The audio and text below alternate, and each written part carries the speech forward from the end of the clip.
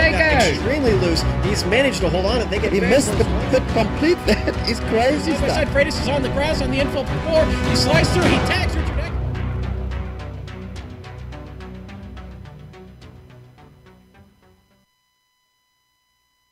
With the first half of season 7 in the books, Apex Online Racing's Formula Renault 2.0 Championship visits Circuit Zolder.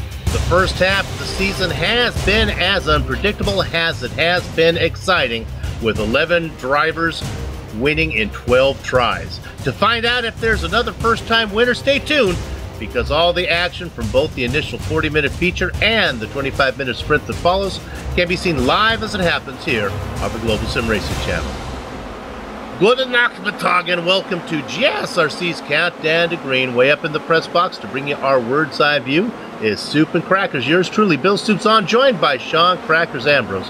Amjad Yaman is our director, armed with cameras provided by the Ansel Adams of iRacing, Dougie Beard. As cyberspace flows into your place over the next 15 streamy award worthy minutes, GSRC will bring you all the storylines, all the stats and facts you'll need to fully appreciate the doubleheader Formula Renault 2.0 championship event that will immediately follow. Now, Crackers, the last time the AOR brought these little Renaults to Zolder was way back in season 4 when the fans witnessed Hugo Prado accomplish the rare double, winning both the feature and the sprint races. So, since it's been three seasons since we've been here, how about a little refresher course on Zolder? Yeah, Soup, let's take a look at the old Circuit Zolder. uh, built in 1963 and hosted the F1 Belgium Grand Prix off and on until about 1984. You know, tragically, though, one of the things that this track is most known for is, uh, of course, the death of Gilles Villeneuve back in 1982. Now, over the years, they made numerous safety improvements and renovations uh, and transformed Zolder into the track that we have today. And a lot of those safety improvements, of course, um, come uh, post uh, the death there of Gilles. But uh, nowadays, the Blanc Bronze Sprint Series, the Euro Truck uh, Truck uh, Racing, Euro Touring Car Cup, the NASCAR Whelen Euro Series all visit this facility. Um, the Champ Car World Series even visits this track at one point where Sebastian Bourdais actually holds the all-time record here of about 1 minute and 14 seconds. Now we'll be going quite a bit slower than that in uh, the Formula Renault 2.0 today, but the action won't be diminished. Uh, turn uh, turn 10 uh, I'm sorry, not turn 10. this uh, 10 turn, 4 kilometer layout will feature quite a few challenges all the way around. One of those being the three different chicanes we have on this track that really help spread out the field and, and may bring on a little wing damage on this Formula Renault 2.0. We'll talk about that a little bit more later. With that said, many of these chicanes uh, feature those high curbs, and uh, you want to stay off them to keep the car aerodynamically pristine. But the best way to get an idea of what this place is really like, let's jump on board the GSRC Formula Renault 2.0 and take a round, uh, take a trip around Circuit Zolder.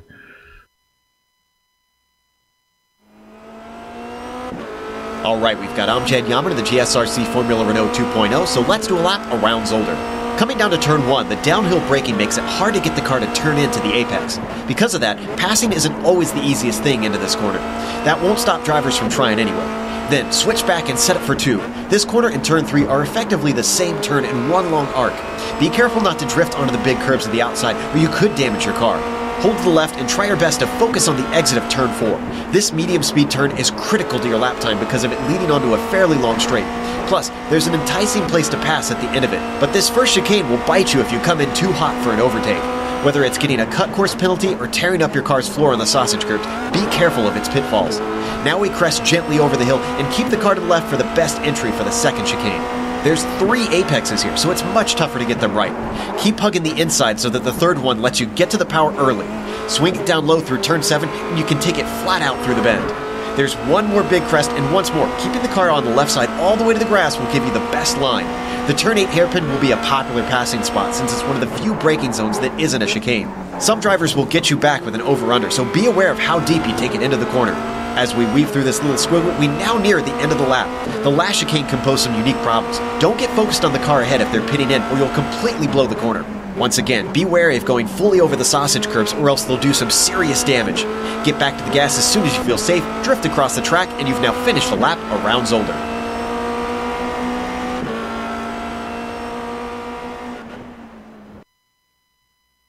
Amjad Yaman on the wheel, Joe Peak on the mic, taking us around the many chicane filled track of Zolder. All right, now let's take a look and see who was the big points winner last time out at Road America. Now, spoiler alert, he leads in the overall points as well. And of course, I'm talking about Adam Tierney. The Formula Mini driver finally picked up his first victory by winning the feature race at Road America. Combine that with a sixth in the sprint, and you get 45 points. Blackadder's Manuel Hoyer went fourth and fifth to sit second on the chart. It was a great points day for Formula Mini. Keep that in mind when we look at the team championship, as Christoph Holstein was third best for the day. So far, Privateer Mark Usher have, has been all hype and no fight. A 26 point performance of Road America might be the crack in the dam before the points flood. And it was hockey sticks for Renee Osterkamp as a pair of sevens earned the Sim RC driver fifth best for the day. It should be noted also that Scott Newton won the sprint race for Apex Racing UK. So, how did all that affect the points championship? And keep in mind that these are raw totals that do not take into account the two drop races that the rules allow for. Having the biggest day at Road America means Tierney increases his point lead. Phil Reed is the only driver with more than one win. The Aperture Racing driver sits, nine, sits second in points, 95 points out. The Flying Frenchman, Jean Francois Godin, moves up a spot to third. Tierney was best of Mosport and leads the championship, but Birdie and a second and a second at Mosport is a, is a. I don't know what I'm talking about there. It looks like that got left in from the last script. Shame on somebody for not editing that.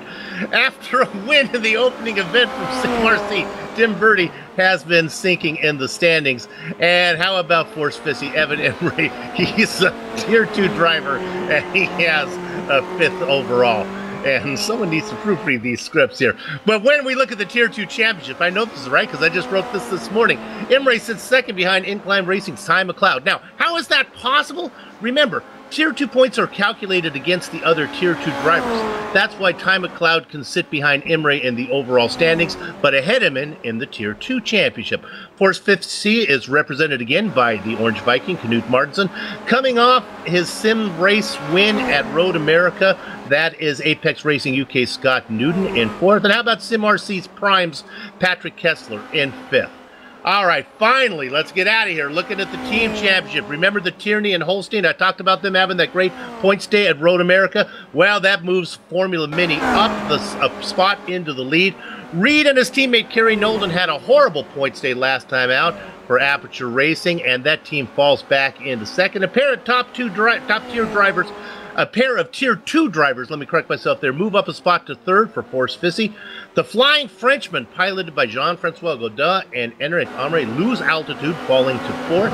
Sim RC Prime holds station in fifth, while sixth through tenth continue to jockey for positions. All right, if you're still with us, let's move ahead now. Crackers, the AOR is always picking up new viewers, so for those joining us for the first time, how about you talk a little bit about the series and race details? Sure, buddy. Let's blaze through that real quick here. We've got series uh, season seven going on here, and this is round seven. It's all about sevens today, round seven of 12.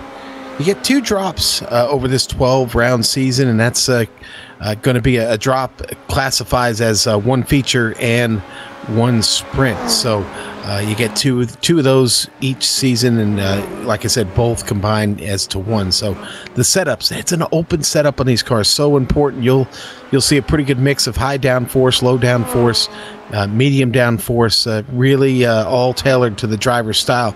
Now the weather today, let's talk about that because a little bit of a factor. It's it's it's a little warm. It's not too bad. It is clear out and that's good. Uh, it's 21 degrees centigrade and 26 degrees centigrade on track.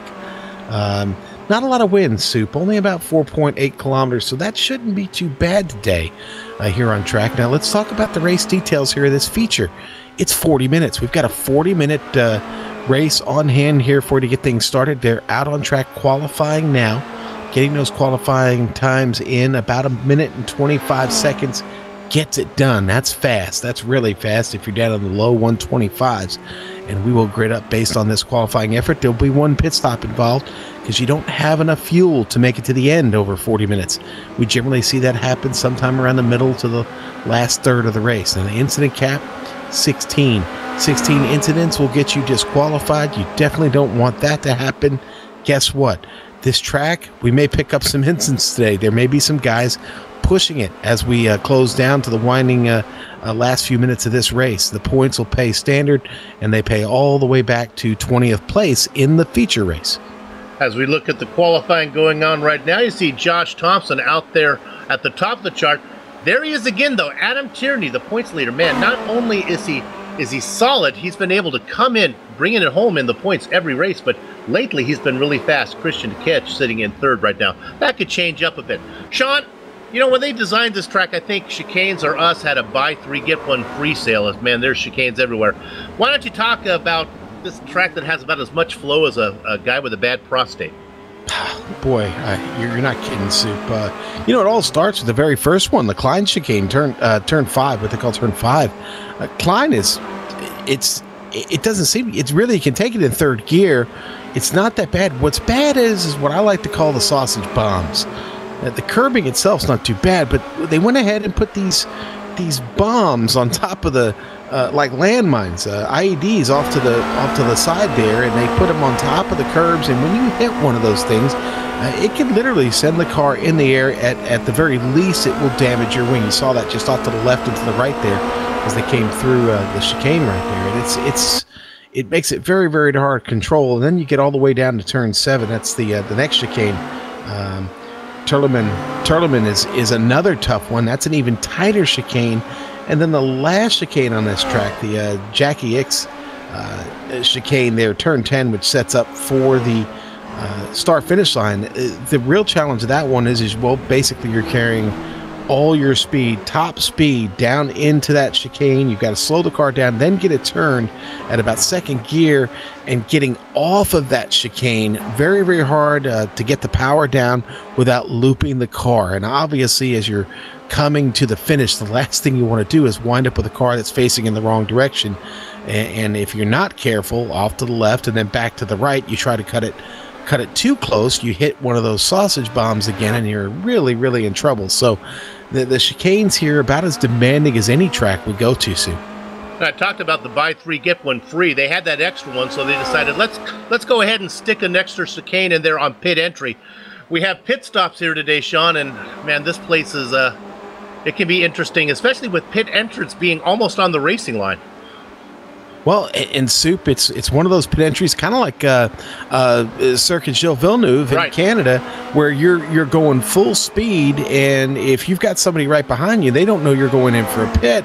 It's a little deceptive because it goes straight in right as you go into that turn ten you just keep going through the turn. And like I said, if someone's following real closely, can catch them out. It can be kind of confusing.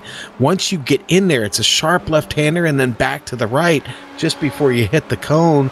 And then once you hit the cone and get the car slowed down, there's a, a safety barrier right there that you gotta have to navigate through to get into the pit lane. So it's gonna be a very, very slow trip down a very long pit lane soup. It covers the whole length of that front straightaway down into Erst. And actually, your pit stop will be longer if you're following somebody because your braking zone for the corner comes before the braking zone for pit entry. So you'll have a faster pit stop if you actually have some clear air in front of you. And Sean, uh, we you, we talked about pit stops and we talked about the curbing and all the chicanes. Put those things together, you're looking at people picking up some damage somewhere. And one of the things about the chicanes here, also, we've done a lot of races. I've covered a ton of races in like the little MX5 um, where at least if you go two by two through the chicane, you can you can at least go over the curbs, avoid an instant. Yeah, maybe you pick up a slowdown penalty. But here, if you go too wide through one of these things, eh, if you have to go off track, you damage your car. Yeah, yeah, and that's that's a very very real um, uh, reality, a very real reality. It's a very real consequence of doing that. Um, now, there there is a lot of runoff, a lot of dirt to get off into. Just you see it right here on screen, uh, you know, where you can survive these. But it all comes at a cost. And damaging this under tray or any part of the wing here is really, really going to affect the handling of the car and put you in a position you probably don't want to be in. And that's from running behind, trying to catch everybody. And obviously, if you're a little banged up, you're not going to catch anybody real well. Looks like qualifying is just about everybody got that in. Look at that. Tim Berti, after picking up a win in the first round, look at that. He is back up there now, sitting second. Let's go ahead and run down your starting grid as we have a, a full field to go through. And a standing start means we have to hustle through. We'll take it two at a time. Josh Thompson and Tim Berti on the front row. Sean. Row two, Christian Tkach and Mark Usher. Points leader Adam Tierney inside of Phil Reed, who's second in points. Row four, Manuel Hoyer and Jeroen de Quartel. Scott Newton, coming off a, a, sprint race win, is in ninth. Rookie Lubomir Moritz in tenth. All right, row six, Knut Martensen and Bruno Dometer. Ty McLeod and Enric Andre, 13th and 14th. All right, row eight, Patrick Kessler and Lee Robinson. Next row, Lawrence Sudden Strike DeReich and Yuri Morjak. Row 10, Harrison Finch and Evan Imre. Hidden Blackjack is Stefan Herman and Stefan Larkamp. Seems like those Stefans always race close together. they do. And row 12, Alexander Waldo, Miguel Antolin. Castor Thon and Sylvia Hurt go 25th and 26th. All right, I'll take the last three here. Alexis Merloso in 27th, Daniel Berro in 28th, and Andrew Greenhog. Uh, is that Greenhog? Greenhog. There we go. Andrew Greenhog in 29th. That's a new name we're not familiar with. We'll get to learn more about him. Hopefully, he'll have a good race. Hopefully, he can finish on the lead lap, put him on the pole for the 25 minute sprint that will follow this race. But right now, all of our eyes are on pole sitter Josh Thompson. It is round seven of 12. We are starting the second half of the seventh season here in the AOR Formula Renault 2.0 Championship. Tim Berti had a win in the opening round. It's been hard sledding from then on, but right now he hopes to have a good result as well. Keep an eye on Christian Tkach Mark Usher, again, we talked about him in the pre race show. More hype than results so far, but we'll see how he does right now. We know, Lord knows he is fast as we wait for all the drivers to come. Notice those long shadows that they grow long and thin under the yes. setting Belgian thumb, uh, sun here. Track Notice- Go ahead, Sean. I was just going to say, noticeable omission today. No Sarah Dove. I felt that when I was going through there. In fact, we are we do have one bird, Harrison Finch is here, but we don't have Dove. So, still waiting for the number three car to get out there, Christian Tkach, the Red Devil Racing driver. Waiting for him, and he finally takes that spot. Christian obviously wanted to make sure that the GSRC commentators get their commentator bonus for getting through the entire field before they go green. We've done it. Everything's done. We're ready to go racing. So gather up the chickens, take cover behind the cows, because the second half of season seven is underway. And look at the run from Tim Berti as he tries to force the issue on the outside through one. Can't get it done. Our leader right now, Josh Thompson, drops down into second to catch Usher and Reed round out to top five. Soup and they are still two by two all the way through turn two and down into turn four they go. All right. Now, getting through four shouldn't be too tough if they can manage that. There's a lot of runoff area then, but then it's a matter of everybody behaving as they get down to the first chicane. You got to get it woed up. It's tough to go through too wide. So far, the leaders are through safe. Everybody getting through as they go single file. A couple guys are slow, but Sean, hey, hey, hey, hey looks good. Uh, Dometer back here fighting with Enric Andre right now, and uh, that's a battle for 12th just to stay in it. Those two, uh, a little bit of contact there early. Now they work down. Our leaders go down into corner number eight. This sets up another pretty good straight here as they head down into the final chicane. What do you got? Yeah, it, it just the battle between Andre and Dometer. I don't think this is going to end well. Neither one of them want to give. Look at that. They got to get it sorted out here pretty soon. Yeah, and then there's Tom no. McLeod putting himself in the mix, and oh boy, Dometer almost gets Andre. Andre finally gets around though, and that puts him up to 12. Now Dometer going to fight back here, coming down the straight. This going on for 13th. There, you can see the battle well up ahead of them. In the very front, there was a great battle for six, and that continues when we. And there we go. It was Tierney. This is what I was worried about. Our points leader has had trouble. Oh boy, and everybody coming through there. It was he got into it with Manuel Hoyer. This was been going on for the entire front straight and then carried through. And Kessler and Lawrence DeRike also in the end of that, just getting by, they get off course. Watch this as he's sitting there. You'll see them come through, they'll split, Yeah. and then both of those cars spin. Yeah, DeRike got a little bit into Kessler and they got touched, and that took them off. But boy, your points leader having a big hit. A big hit and damage to the front wing suit. Not good. Not good. That's going to cost him in the pits, and that's going to cost him time on track. Indeed, riding with Lawrence DeRike, you see the, the boy, the contact there with Kessler. Now remember, in this series, we don't show it in the points. Those are raw points that we show you. There are two drop races, so this is something that takes a little bit of the sting out here for Tierney. He knows that at least maybe this can be one that he just throws away. Let's go up front and show you what's going on. As we look at Tim Birdie racing in second. That's in the yellow car. He's chasing Josh Thompson as they're now working lap number three. Back in third position is Christian Tkach. There's a little bit of a gap now to Mark Usher in fourth, who's racing all by himself. And then Phil Reed. A good chance for Reed to pick up some in the points with his main competition, Tierney, the guy he's chasing, having trouble. You know, Soup Scott Newton had big trouble also. Lost him a lot of spots. He got caught up in the chicane here. We're watching it on the replay now. He blows the chicane, and then when he tries to get back to the track, he spins the car. That shot him down the field 10 spots when he finally got going again. Here we go. And you see, just misses his turn in there, and it just it ends in tears, unfortunately. Don't see any damage initially on the car, though, but that front wing might be a little bent up. In fact, it is. He's got some right wing damage. Yes, he does. And that'll have to be fixed, even though that may not slow him down. Though I think that uh, that damage probably will slow him down on the track. He'll need to fix that in the pits. Let's go to fifth position real quick. This is a battle. This is Dave Cortell and Phil Reed. Cortell has got this position. Phil Reed falls back. Nice pass from Dave Cortell. Reed has not done those. They work their way down into the first chicane. Let me correct myself. They're working through 10 right now. Now they go down the main straight, finishing up lap number three. They start working on lap number four. Now let's stay on Reed here. As he's got a good run. Is he going to force the issue into one? No, he is not.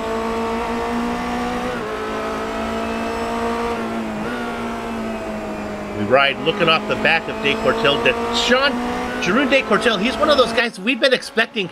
He's a better racer than his than his results would indicate. Yeah, definitely. I, some people are snake bit, Soup. Yeah. I think he's one of them, but so far so good. Up three spots here early. Here we go. Let's go to him again because here comes the pass. This is going to go too wide into the first chicane as Reed tries to get the spot back, and he does. Sean, it looks like he can get a draft out of out of uh, corner four, that long straight, before you get down into the five to make a run down there. Wouldn't you think? Am I right on that? Yeah, no, no, you definitely can. It's just you, you got to hit the braking zone just right because you don't want to miss the Klein chicane. That battle you're looking up there, that's the first real battle we have as they run one, two, three, four are pretty passive right now. We can stay on this one a little bit more as Portel is, my goodness, he is right behind Reed. What my dad used to say on him, tighter than a new pair of shoes on a rainy day. So they work their way in through 10.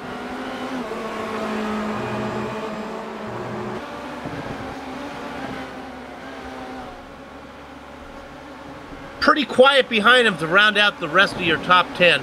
Yeah, well, Soup, they've gone line of stern basically throughout the whole field. Everybody just trying to settle in and tackle this track right now. We've talked about how difficult it is. I think the uh, the, the drivers have acknowledged that at this point. Up and Ty McLeod has had a Yep. spin. Looks like a spin all by himself. You talked about racing uh, all by himself. He was in 13th position. He just lost that one. Yeah, and you know, I was just about to talk about him as Ty had had a pretty good run going. He was picking up spots, but he just misses the the entry of uh, Erst there, and the car slides on him. It's not hard to get that car to slide off. He was probably downshifting at the wrong time, and it caught and and grabbed him and and then spun it. A lot of cars get through as a result of that. Yeah, McLeod falls way down the racing order now. You can see him racing in 22nd. That's nine spots. That little mistake cost him. All of this going on behind our leader, Josh Thompson. We look at ninth position. Now this is the next one. Look at this battle here. That's the familiar yellow and blue car, the Force 50 machine. Oh my goodness, it's Martinson is he's going to lose a position not only to the rookie Lubomir Morris, but he's also going to lose one to Lee Robinson as well. How about Lee Robinson? Sean started uh, uh, in 16th position, up six spots in 10th. Yeah, Lee's moving. He's moving, you know, and a lot of the guys behind him are moving soup. I mean, this this really uh good battles going on back here. Oh, and I think let's say as we ride on board with Lee right now, look at him taking the good entries in almost to the defensive line up in front from from Morris, and now he's got a real good run, but can't get it done. They work through four. Let's stay on this a bit longer if the rest of the field will cooperate. Oh, look at the drive that Morris gets off of four, though. I don't think that's going to give Oh, Robinson. but he goes chance. he goes a little wide there. He goes a little wide, and that uh, really kind of killed his momentum just a bit. But now Lubomir, uh, we we've seen already here in this season, Lubomir. Uh, yeah, he may be a rookie, but he's not a rookie driver, and uh, he is moving right now. And we got a problem with Finch. Oh, Finch got tapped there. By another rookie. Jerry Mor- Yeah. Morjack got him. Yet they were side by side trying to go through the same chicane, and it did not work out. Now I'm looking at it real quick, so I'm going to give you my opinion. It looks like Morjack was about as far to the left as he could be. The car has mass; it has to be somewhere. Just from a quick look, I would say that uh, Finch tried to come across, and there well, just wasn't room. Not room in that chicane. That's the tightest No. chicane on course right there. And the problem is, if you leave each other enough room down there, it just kills your lap time. You're just Yeah. crushing each other.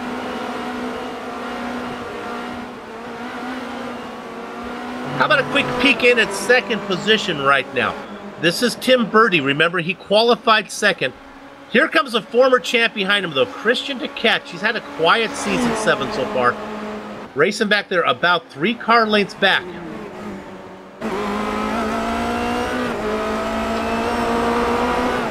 Ride over the helmet of Christian, the Red Devil racer. Boy, it really shows you. This one and Spa, you can really tell that you're in Belgium. A lot of trees here, a beautiful, what a lot of pretty track. Lots of old tree soup. They've been Yeah. around for centuries. Indeed. Feel like a, a tank battalion might emerge out of them there. Very possibly. Just don't. Uh, okay, I'm staying away from that. Yeah, Anyways, we're trying to keep the international peace here. that's right. Hey, Soup, real Yeah. quick, we'll get just a second. I want to give a shout out to the guys over at iRacing Drivers World on Facebook, uh, giving them a shout out. Scott Rupp and the boys over there, they're big fans and uh, they watch these AOR broadcasts every Friday. So, uh, howdy, guys. Hope you're watching. But right now, if they are watching, they are watching a Red Devil racer try to put his pitchfork into the back of Tim Birdie. And of course, I'm talking about Christian Tkach. Hey, Soup. Okay, got got. Okay, we're watching Tim Birdie right now. We got to go to Enric Andre Okay. and Manuel Hoyer. Hoyer's really trying to pull an overtake on Andre. Andre's got some wing damage that's really hurting the downforce on the front of that car. You'll see it when he comes to one of these chicanes, having trouble hanging on. Manuel Hoyer trying to find a way around and get this spot back. He wants to get back to seventh where he started. It's proving tough right now because Enric is really just uh, giving him the business here, playing uh, playing Mr. Uh, Oh. defense. He moves in front of him there. He has to though to get that chicane just right. And uh, boy, this is uh, this has been a real chore for Andre. He's not been able to. Uh, to I'm sorry for uh, for Enric Andre. He's not been able to find a way to get around him here yet. I understand that you want to move over to get that entrance right, but I'm not a big fan of taking the defensive line and then changing your mind right before you get there. Let's stay on this a minute here. Let's see what Manuel Hoyer can do. Yeah, actually, Hoyer's got a little bit of damage on his front wing also. And then coming into the picture right behind him is Lubomir Morris. Lee Robinson has had a spin Oh, no. right in front of uh, Knut Martinson. Getting around him also Bruno Dometer. Yeah, and that was uh, that might have been a brake bias thing. Maybe he made an adjustment or something, but he locks him up there coming down to the turn suit. That was there in the uh, in the hairpin of the name I will not try to pronounce right now. Are you braking at turn in there, Sean? If, if you're really fast, is, is uh, Yeah, or do you, Yeah. are you? Yeah, that's always tough for me. I think that's one of the things to separate. I mean, I know these guys are all top top driver, so it's hard to relate to the the guy that is talent challenged, but that's one of the toughest thing is to turn the car in while you're still braking and keep the rear end under you. I've been there. Uh, we've got some pit stops going down already. Uh, maybe a little early, maybe not, but probably more to do with the damage. Finch is in, Tierney's in, Scott Newton's in. A normal pit stop should be about four and a half seconds. A lot of these guys are in for damage, which is going to mean at least nine seconds probably for a stop. Yeah, these are Yeah. all long. Finch was a 12.6 seconds there in the box, so that's obviously a, a repair there. Yeah. 27 minutes of racing to go, probably in their window. It will be real close, but really, if you're racing a car that's damaged, you want to keep it out there as long as you can. And as soon as you think you can get to the end with a stop, that's when you bring it in. You don't want to bring your car in, no matter how sick it is, for medicine until you know that it's going to be the last trip to the doctor. You know, we were watching the battle between Andre and, and Hoyer. Hoyer did finally get around him, but now uh, Lubomir Morris uh, looks to be the next driver to want to try and get around Andre here. Yeah, I knew that one was just a matter of time before before Hoyer found his way around. How about another good one? Remember we were talking about the battle for second? Well, Birdie's pulled away a little bit. Tkach has fallen back, but here he comes. Mark Usher now in fourth is looking to see if he can make a move to get onto a podium spot as he's working on the back of Christian Tkach. Now they work up, they've gone through the first chicane. Now they come up to this one, which is a legitimate chicane, although it almost feels like corners there, but they loop around here. Yeah, hit those curbs, hit those curbs, and it'll definitely feel like a real chicane. Soup. Terlamen is tough, and uh, here we are down into the hairpin now. And now they're back on the throttle. Now this will give you an indication of where pit entrance is as they are full song here. You'll see it off to the off to the right hand side as we ride on board with Usher. There it is right there. Is anyone gonna bite? No. But you can see how you can just run that car in there real fast. Usher remains in fourth. Birdie in second, sandwiched between them, Christian Tkach. How about we drop back real quick, look at fifth, because Phil Reed and De Cortel. Remember, we were looking at that battle earlier? Well, now Reed's back out in front. De Cortel looking for a way around. Enric Andre in, Evan Imre is also in. Soup. Andre in probably get that damage fixed up. The Flying Frenchman teamed up with uh, Tkach. Lee Robinson picking up another spot, heading down into Erst. He gets it. He passes Stefan Larkamp there. That'll put him back up to 12th. He lost two spots on that spin. He gets two of them back.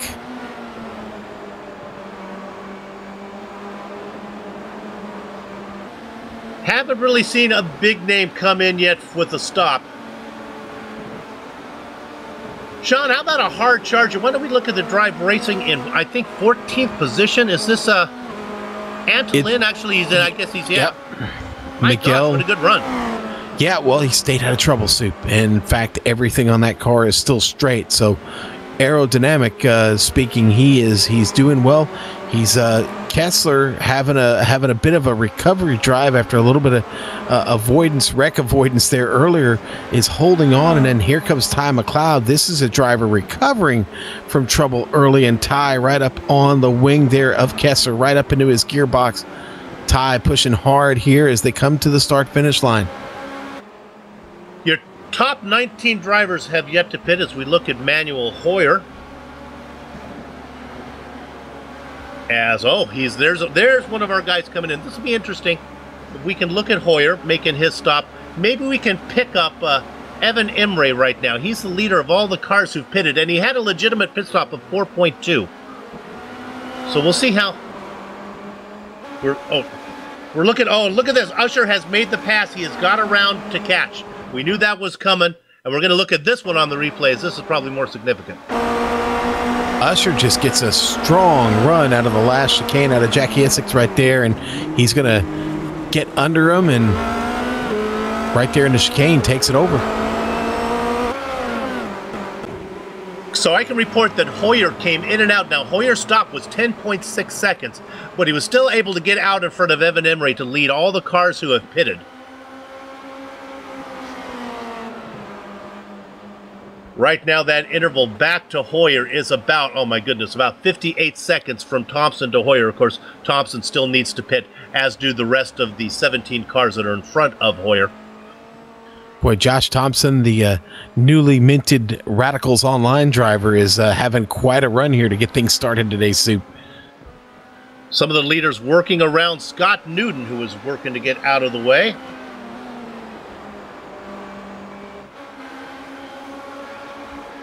McLeod and and uh, comes in for his pit.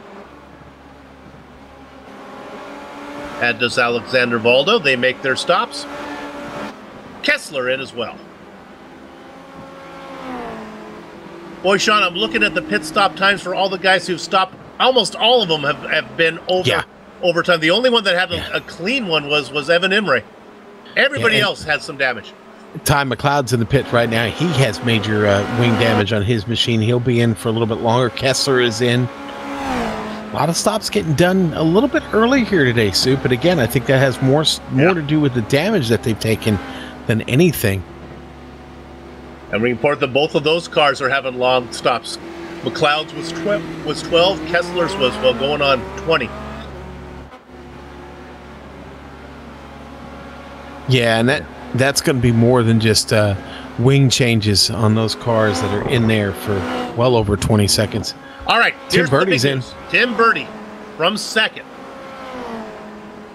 Now this is a chance for for for Usher to go out there, put in a hot lap, and see if he can catch him. I think Birdie's stop should be relatively fast, as I don't believe he had any damage unless he's gone over a curb that we haven't caught. Looking at Mark Usher right now in that beautiful blue machine, privateer driver. Still looking to pick up a win this season. You know, that's a quick stop for Birdie. You know, every was. time you every time you say privateer, I I think pirateer. Yeah. Um, I imagine him driving in the yeah, I imagine him in the cockpit driving with his eye patch on and you know, sword off to the side there. All of this action going on behind Josh Thompson, who has a 5.2 second lead. Honestly, unless he runs into some trouble, unless he's picked up some car damage that he's going to have to pay for in a pit stop, he's sitting in pretty good shape right now. That's definitely possible, Soup. Again, this this is a punishing circuit. One mistake and that uh, that sends him back into the traffic with everybody else.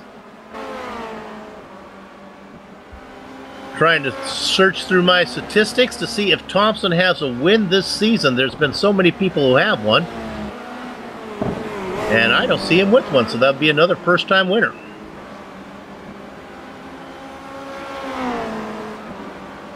Jeroen de Quartel's in. And here comes Bruno Dometer coming in.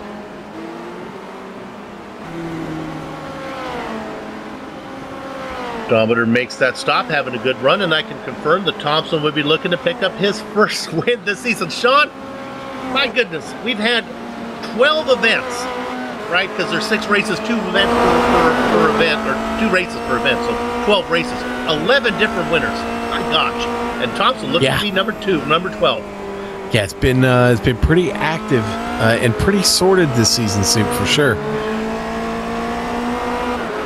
Okay, Birdie, Birdie has come up. We should report that he cycled out into 10th position.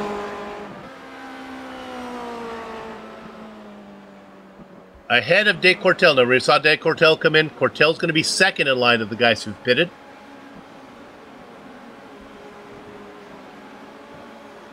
Manuel Hoyer bringing his car down into the pit lane.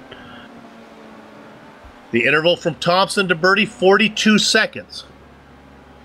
Hoyer coming in for a second stop. Oh Yep. boy. Yep. Must have picked up some more damage somewhere, Soup, that we missed. So that's uh, pretty much going to take him out of any points he can get, and probably any chance of, of finishing on the lead lap. So man, that's a that's really painful.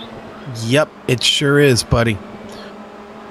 Josh Thompson continuing to uh, put in some really hard fast laps here, though. Last time by, though, Mark Usher was a little bit quicker, but the the gap still remains five seconds. I think the real interesting is going to be when Usher comes in. I think Thompson should be able to get in and out pretty cleanly. We'll see if Mark Usher can get out ahead of Tim Berti. Tim Berti leading the cars who pitted out there right now, racing in 10th. Nobody in front of him. He's got clear air, so he can put in some good lap times. Sean, 22 cars still on the lead lap. The guys who've been able to come in and get their pit stops made. And that'll probably pick up a little bit more as, oh my goodness, Phil Reed has had Yeah. issues.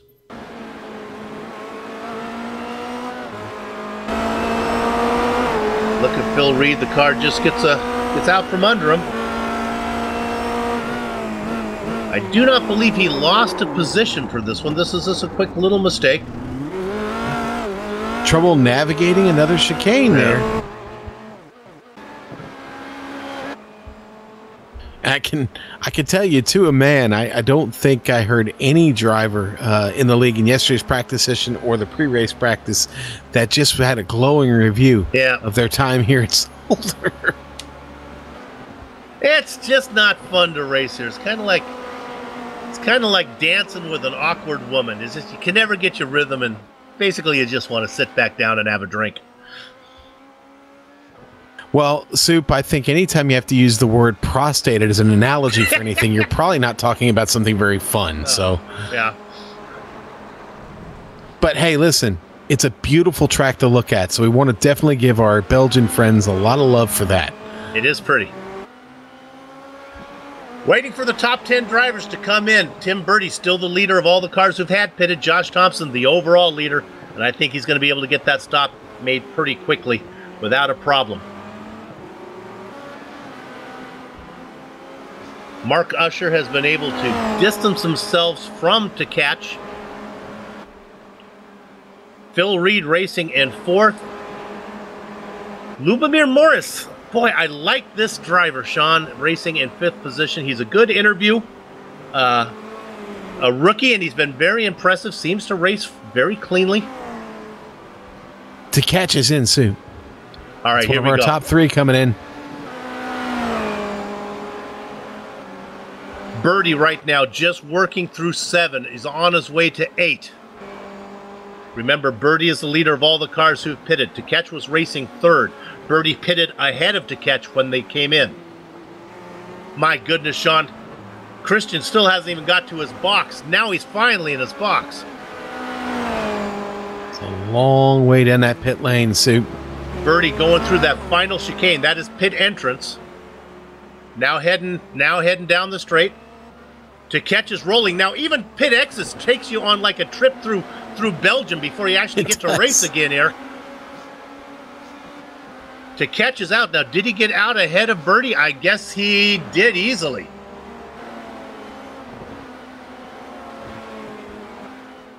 Yeah, look at that. I'm I'm I'm surprised that that that uh, was so. He's so far out in front of Birdie. There's their pit stop times were were relatively the same, unless I have can't read my my writing. But Birdie was racing ahead of Tkach. Boy, our, our leader, Josh Thompson, had a little bit of trouble passing Alexander Waldo just a moment ago and came on the radio and I guess maybe, uh, well, just kind of asked him to get out of the way. Okay, so the leaders of all the cars who have pitted now is the Red Devil Racing driver of Christian Tkach. He currently races in eighth position. He is ahead of these drivers, Miguel Antolin, Sudden Strike to right. They both need to make a stop. The other seven cars in front of them all need to make a stop as well. The big names Josh Thompson, Mark Usher, Phil Reed. 13 minutes to go. Sean, it, it's, it's. I know they raced for a while. The pit window is big, but I think we are about at the end of it. yeah, it's getting close here, Soup. Definitely getting close. I, I'm estimating we only got about 10 laps left to go. Lee Robinson hasn't had another off. Yeah, you know, it's, boy, it's not Boy. been the greatest day. As uh, Terlamen there, he has trouble, misses his entry and, and locks up the brakes going in. Yeah, he did. That's exactly missed the entry. Was could not get the car down to the apex and, and just had to woe it up. Okay, here comes Josh Thompson heading towards pit entrance. Let's see if he bites this time. I think it's going to be yes. And the answer is let's make the commentator look smart as he comes in, as does Mark Usher. So now, while these guys come in, what's going to be interesting, we'll want to see where Tkach is. Soup, we just had a big pass for position back here. Jeroen Cortel gets around Tim Birdie. Both of those cars have had their pit stops in. That uh, that gets De Cortel up into tenth. Yeah, I don't like what's going on with Birdie. He should be farther up than he is. Something must be going He on. Should. like Something- check his laps time. Something's amiss there. I don't I don't see any physical damage on the car. Usher just hitting his box right now. And my goodness, Tkach is is going to get him, I think. Tkach is well, he's a ways back. He's just crossing start finish line. This could be interesting because pit exit, like I said, meanders before you actually get out onto the track. Usher now has finally found his way back to the track, and Tkach can see him. Usher's out in front. And of course, all this going behind Josh Thompson, who is well out as well. Our new leader, though, how about we give a little love to Phil Reed? He's decided to run that tank as dry as a syrup bottle after a, well, we're in Belgium, a, a, a waffle social, yeah. Just trying to think of famous Belgian foods and and uh, why waffle didn't come up first. I had no idea, Soup. All right, I was thinking beer. that'll Uh, work. the First thing that came to mind because beer is a food soup. Remember that. Um, that's, that's what I say every time I have it at 9 in the morning. All right, Reed has made his stop. Leaving only Martinson and Larkamp and DeReicht to come in. We expect Reed to file out somewhere in fourth. Look for him to come out maybe just ahead of De Cortel. Reed is in.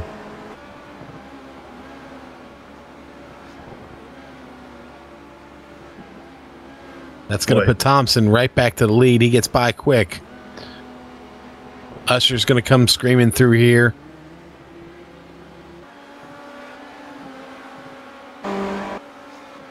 The real interesting one we'll see if uh, I think we're looking at Morris. If Morris can get out before before uh, Reed, I think Reed's going to get out first.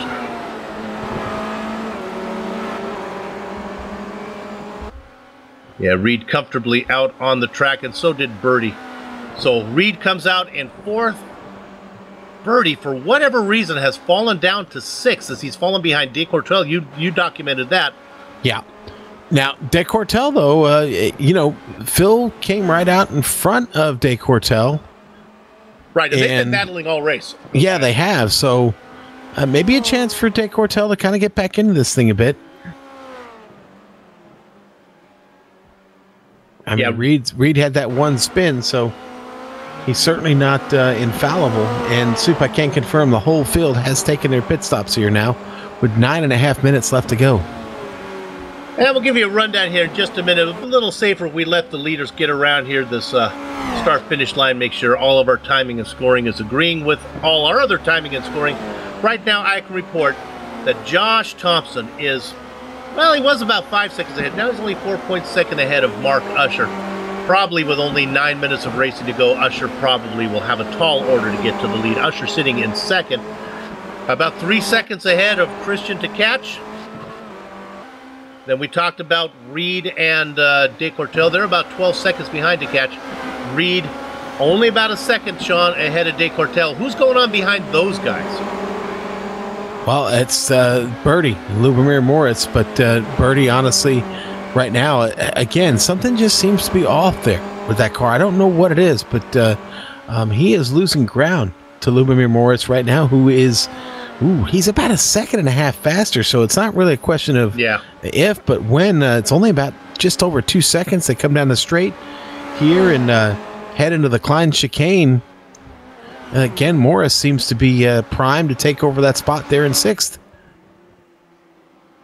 And we're hearing De Cortel is somebody we want to look at. Oh, oh, look at this. Look, there's our battle going on. This is De Cortel and Reed.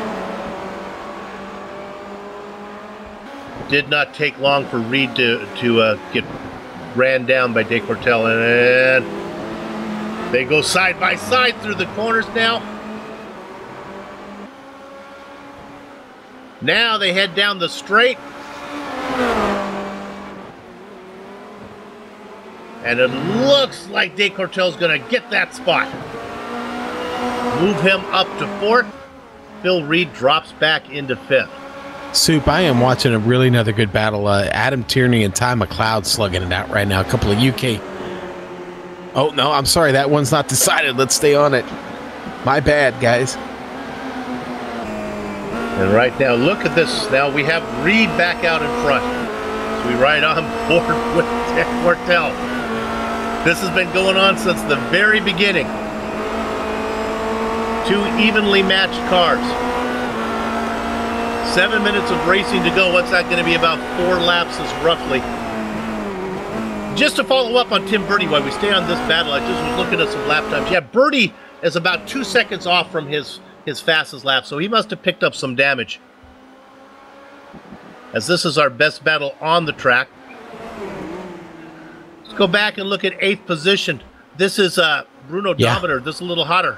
Hey, the Orange Viking, Kmart himself, Knut Martinson, running in ninth. Yeah, K- uh, Canute trying to track him down here. Boy, a nice trip through there for Lubomir Morris. I'll say it again. This guy is anything but a rookie driver, suit. He's got You know- chops. And you know what? We're going to cut away from this one. We're going to go to six because Birdie is now under attack from Lubomir Morris. This is ahead of those guys, and I think this is going to be done right here. Watch the straight line speed here, I think, from that Morris is going to have down the straightaway. And he's going to gobble him up, and that's an indication of a car that's not healthy. You know, Soup, our spotter, uh, Billy Bob Wright, says there's some splitter damage on uh, Birdie's machine there. That's probably what's been slowing him down and sending him backwards. Yeah, it's about two seconds a lap now, so he continues to fall. We noticed that must have happened right before his pit stop because when he came in for that stop, uh, Tkach was able to jump him. We knew something was up then. Five and a half minutes of racing. Josh Thompson still out in front. Let's go back in and check on Dometer and Martinson. Oh, it looks like Dometer be able to distance himself now. In fact, Canute start maybe turning his attention from in front to behind because here comes Jury Morjak. Dometer in eighth, Martinson in ninth, Morjak in tenth. A pair of rookies bookending the veteran of Knut Martinson. Five minutes to go, Soup. It's all or nothing now, buddy. I guarantee you this battle up here for fourth is not over. Drew De Cortel really hanging in there Nope. with Phil Reed. We look at it here. They are coming at you. That's Reed. We're right on the back now, off the uh, off the gearbox of Phil Reed, looking back at De Cortel. Points paid down to 20th. We have 21 drivers on the lead lap. The last one being Casper Thon. He's going to be hard pressed to stay in front of Josh Thompson. We'll document that in a minute as we stay on this battle. Love that shot. Now we go to the front, looking up ahead.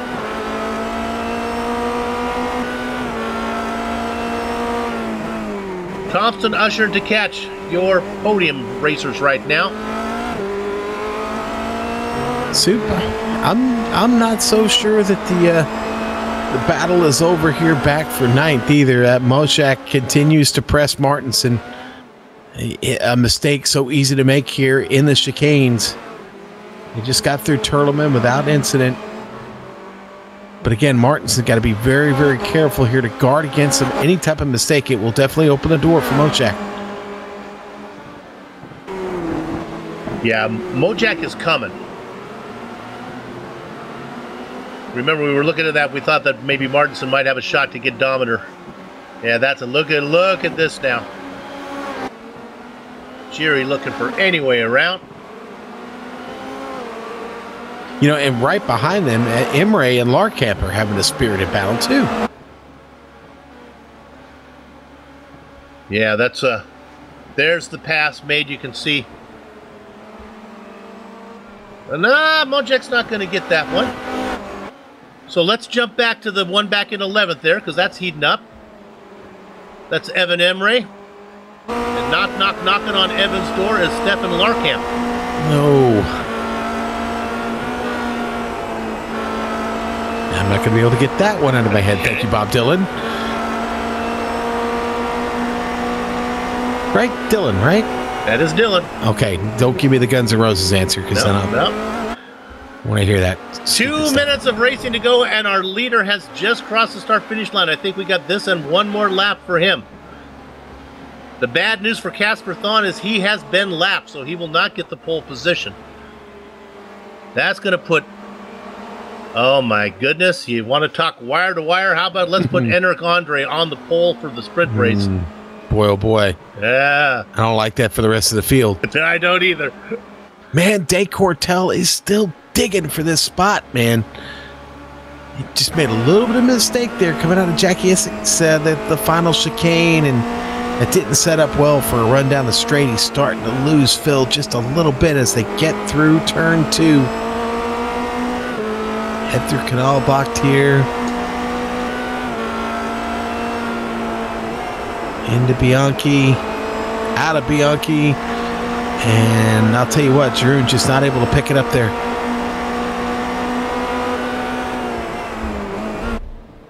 Boy, we have battles that are just real close to getting this one for fifth. Decortil just can't get to there. Back to 11th position. Emery and Larkamp. Larkamp just can't seem to get there either. Soup, by the way, you're winning the commentators battle this evening, okay? That's what they're, talk- that's what they're talking about on the I didn't know YouTube channel after one. that after that last one there. Okay. Boy, Larkamp really, really picking up him right here.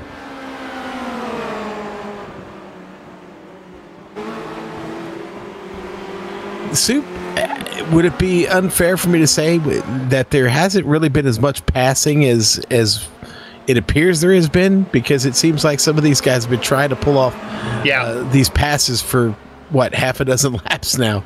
Be interesting to know. I mean, maybe Sean. I know you probably did a lot of solo racing. I wonder if like there's a push here because they can get close. Look at this battle. Here he comes. This is probably the best one out there. He's closer than he's been before. This is my goodness. He's right on him now. We're looking to read out in front. De Cortel. We are on, I believe, the white flag lap right now. Now they head down into the first chicane again, though.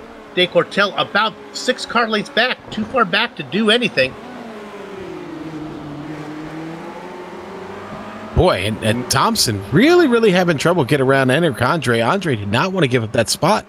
That is a huge pass. That has only in here we go. This is really important and very important for Thompson as well. If he can get this pass made, has huge ramifications, but I don't think so. Give the race win to Josh Thompson. Wow. Enric Andre able to hang on. Let's go back to Phil Reed. Thompson wasn't very happy about the fight either. Oh well, there's there's some there's some reason there. Meanwhile, Reed working his way through the final chicane. Let's see if De Cortel has anything for him. I don't think so. Reed's going to end up slotted into fourth. Fifth place goes to De Cortel. Usher Tkach get second and third. Only in the AOR feature race would that battle for the lead lap between Enric Andre and Josh Thompson have any significance at all. And what that is, that's the difference of Enric Andre getting to start on the pole or having to start in 20th position for the sprint race.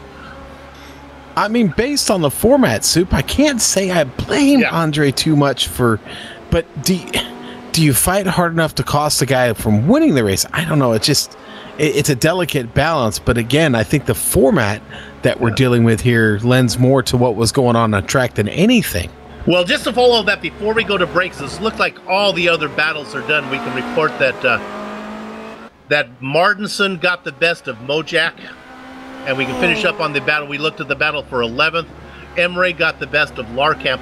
Just to follow up on your point, there are specific rules in this series that are different from normal blue flag rules. They say you're supposed to get out of the way, but my goodness, with the leader with a with a two second lead and and me having a chance for pole, I, I'm I'm gonna ride here with Andre on this one.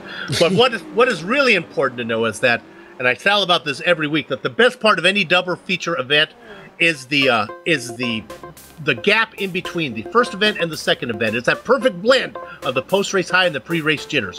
What I'm going to do right now is take a short break, but we'll be back to run down the entire finishing order of the feature race, talk to some of the drivers, and then get our ducks in a row for the sprint race that'll follow. Back in a few.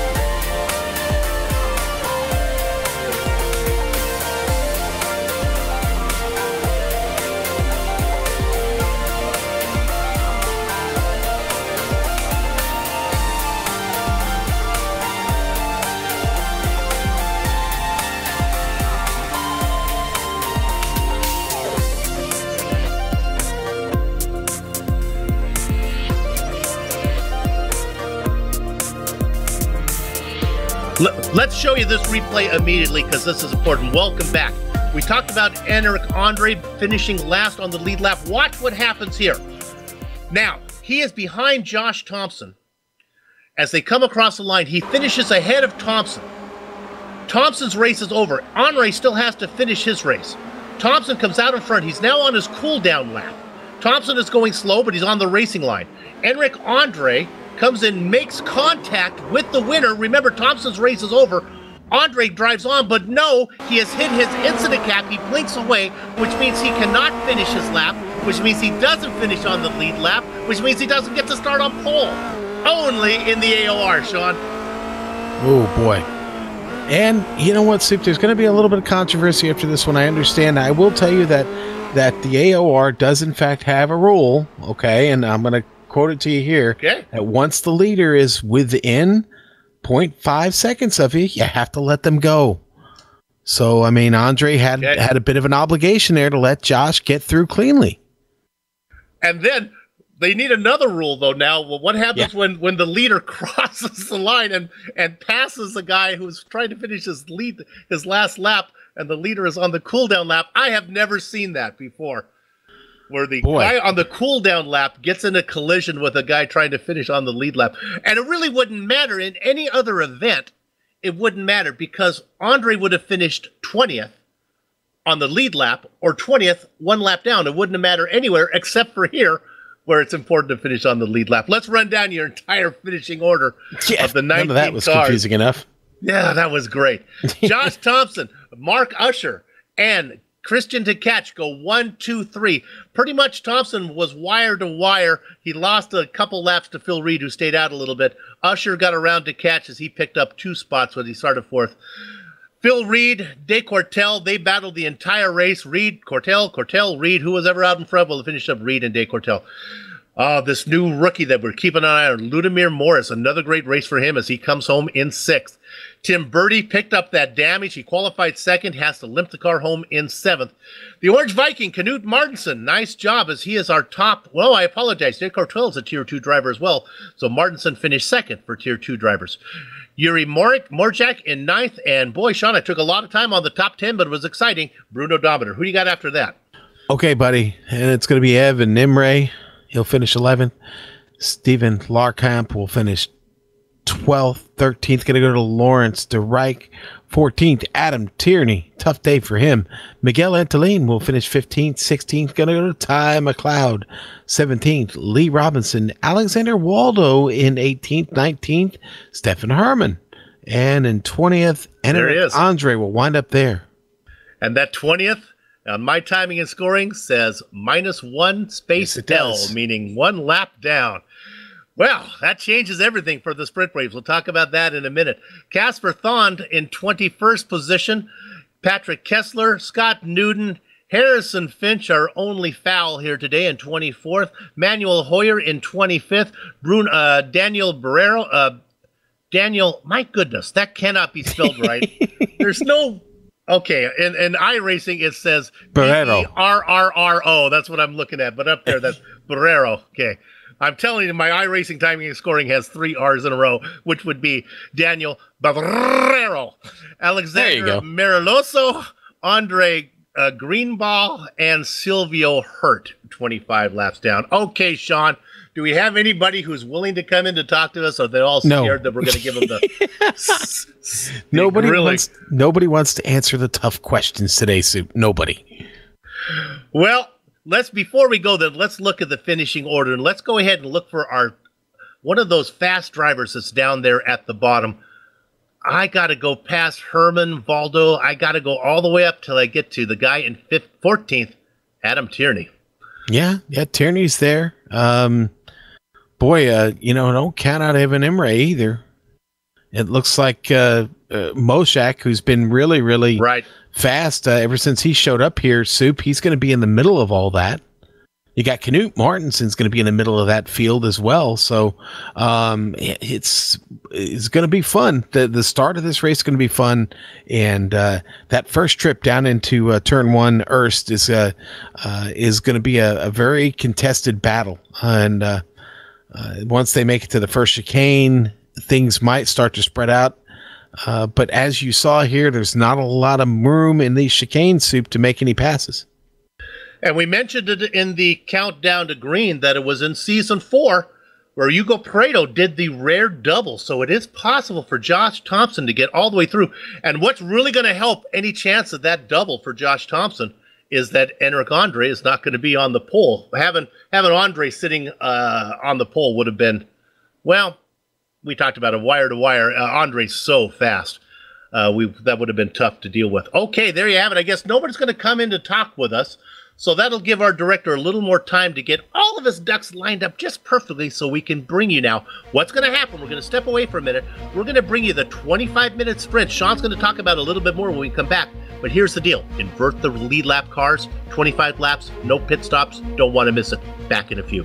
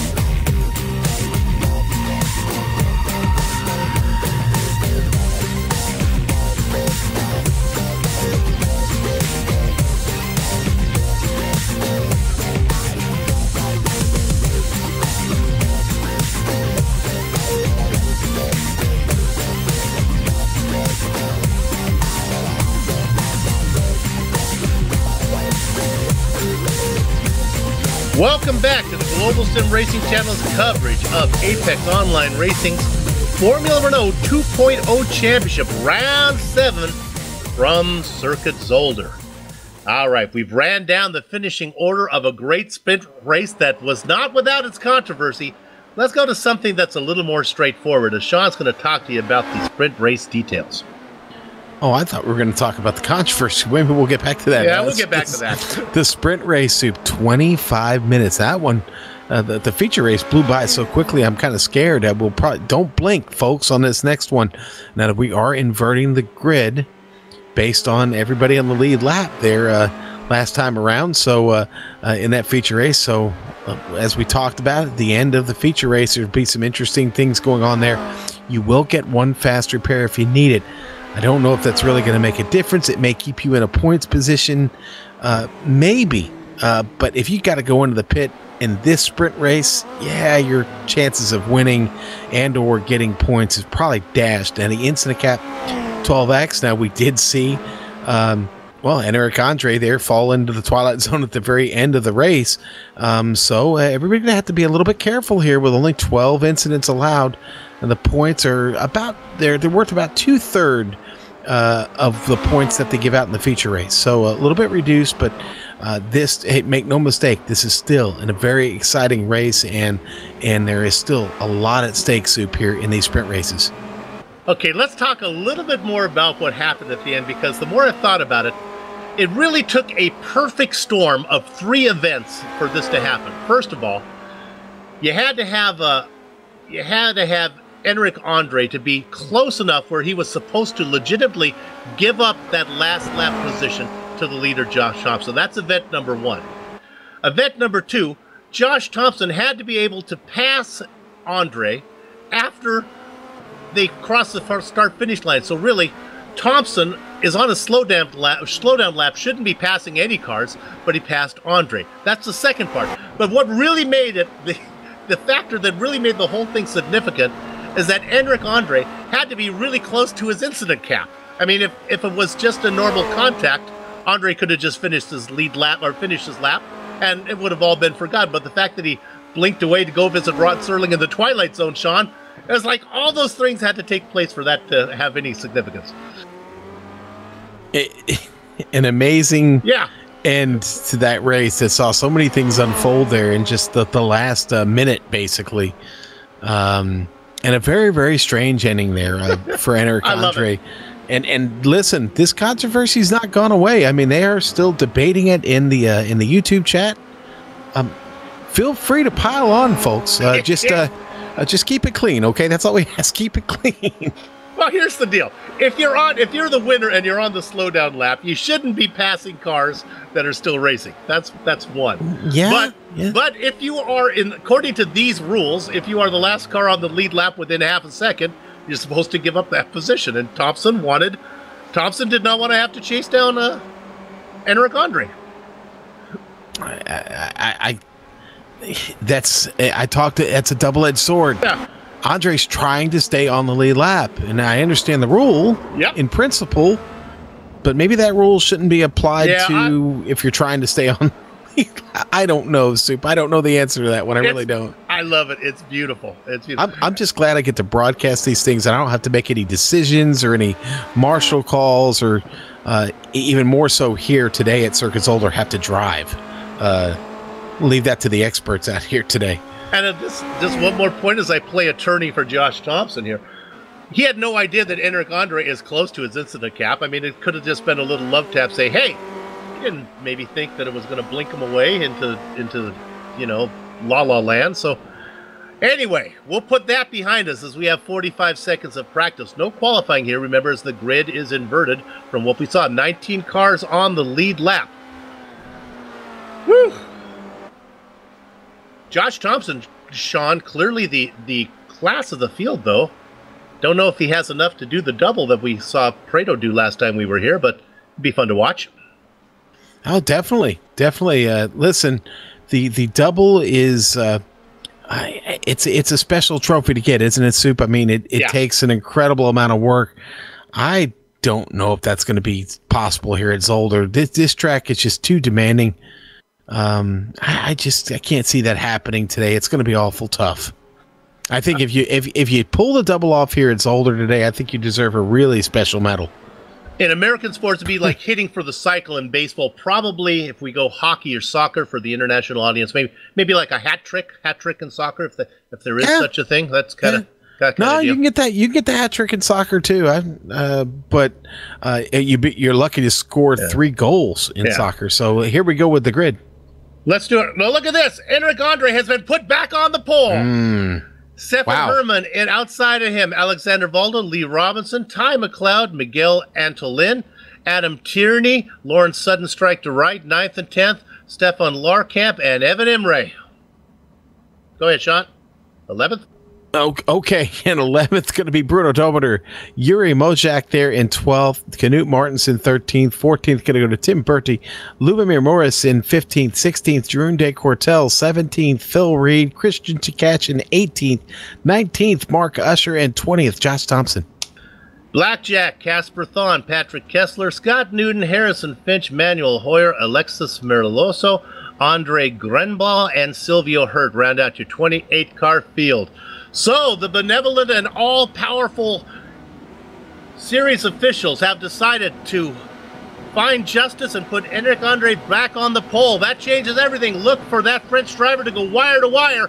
Gather up the chicken steak, cover behind the cows because the horses are out of the barn. And Enric Andre leads the stampede down into the first left-hand sweeper. That is corner number one. Second position, Herman. Third position, Baldo. Robinson, who had a great race in the feature running in fourth. Look at him bunched up for fifth. That's McLeod working on the outside is your points leader, Adam Tierney in sixth. Boy, and several cars got off at the back of the field. Scott Newton, Stephen Larkamp uh, off into the dirt soup. Kessler has had issues, but so far most of the cars make it. Looks like Newton has had some issues as well. The field goes down into the chicane for the first time. They bunch up, but they're all getting through. They are a soup. Even at the back of the field, they managed to get through that chicane.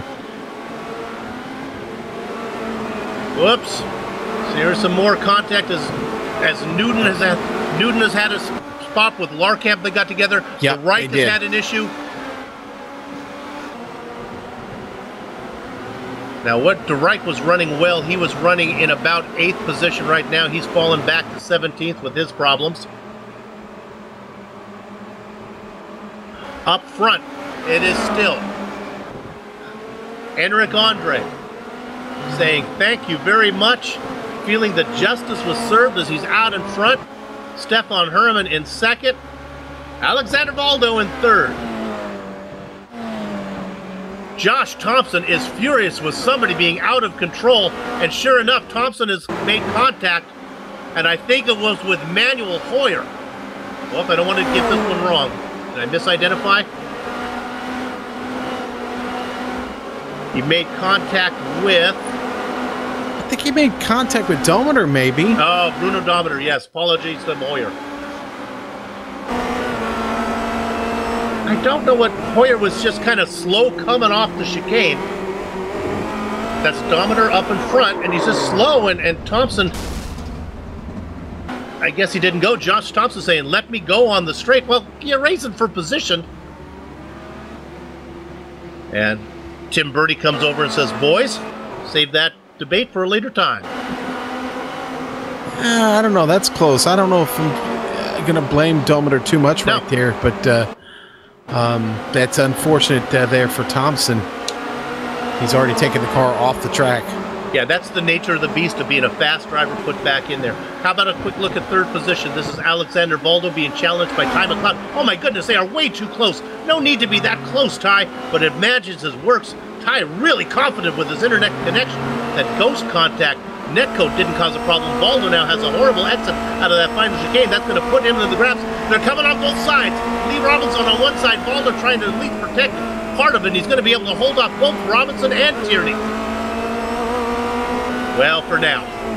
Then he goes a little bit wide, and it looks like as they go too wide again on the outside, that's Robinson going to get that spot. Point leader Tierney in sixth, just biding his time. We ride on board with Baldo. And Soup, real quickly, Dominator had to peel off and get into the pit. Scott Newton also in there. Battle for the lead, though. Andre's oh my off. goodness! Andre's off. He was taking the defensive line inside of Herman, and then the car got loose through the chicane. He didn't hit anything.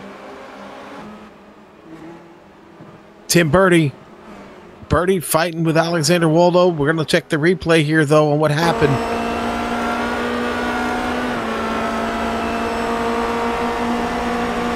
Right on board with our leader, now racing in 20th position. Don't be fooled by that timing and scoring. Yeah, you know what, Soup? I think he might have clipped one of those sausage bombs I talked about earlier. Kind of got the car offline and causes him to spin. Andre had to let a lot of cars get through there. He's cycling all the way back to 20th place now. Soup, we got to look at this gaggle of cars, though, behind Tim Birdie, Lee Robinson, Alexander Waldo, and, and Phil Reed and Miguel Antolin fighting right there as they all come down the front stretch. Jeroen de Cortel just behind him.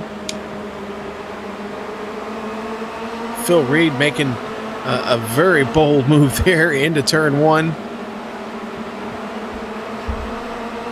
Oh, getting way loose. Baldo squiggles up in front. That's going to let this whole train go by. There goes Reed. Here comes Antolin if he wants it. Baldo stuck on the outside. He's going to lose that position, and I think he's going to lose some to Martinson as well. We can report that Enric Andre has taken it into the pits, but Sean, oh, I do not want to be Alexander Baldo right now as he almost makes contact. Oh, now he gets a little bit loose. He's going to lose a position. And there's more madness right behind him there. So if you got Lubomir Morris and and uh, Evan Emre, Knut Martinson fighting. This is just a crazy, crazy battle. Oh, he spins. Baldo. He spins. Waldo off. spins. That's probably the best thing that could have happened to him because the the horde of bees were coming. He was about to get stung. Emery out in front of Martinson right now. Morris and oh. to catch back there in 12. Then he opts to just take the toe and go in. Wow. Okay, let's go back live. And how about a little love for one of our Steffens? The Battle of the Steffens, not so close right now as Larkamp is racing way back in 22nd position. So the one we'll put our attention on is Herman up in front with about a two second lead over Ty McLeod. Now, my, Lubomir, go ahead, Sean. Lubomir Morris just pulls off another pass, gets around Tkach and uh, Lawrence DeReich. DeReich struggling right now. He's he's being overtaken here by Tkach. I think Tkach is going to hold on to it. Gets a better run out of the turn.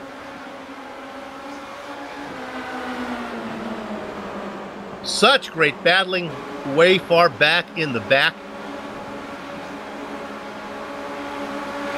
And it's boy, Andrew Green uh Greenhog up 14 spots already. That rookie having a really, really good drive. He's just got by uh just got by Lawrence DeReich there. I wonder if DeReich has some damage. I don't see any damage on the car. Oh boy, big trouble for De Cortel.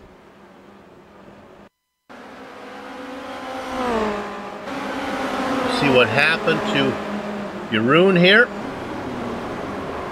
Oh, he Oh. makes he gets in behind Lee Robinson there, and he just he makes an evasive move to try avoid running him over, and when he does, it spins the car.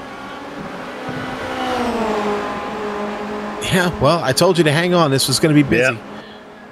It's all happening in the back. Now, let me just upgrade you. I know the action's great down there, but I got to give you the storyline up front. Stefan Herman still out in front, but he's losing time to Ty McLeod. McLeod's knocked off about three tenths of a second since we last checked in. Don't forget about Adam Tierney. Tierney started in seventh. Remember, he's your overall points leader. He now races in third. He's about one and a half seconds behind McLeod, still with a chance to get the win. Tim Birdie's been fast all day. He races in fourth, all by himself. And Phil Reed rounds out your top five. Reed able to get away from uh, Miguel Antolin. Lee Robinson just overtaken by Knut Martinson. Yeah, we and got to Lubomir stay here. Morris Morris now trying to overtake Robinson. Look, heading to the chicane here. Man, he is fun Oh. to watch. Yeah, Morris had to lock him up there going into the chicane. Able to hang on to it, keep it from spinning.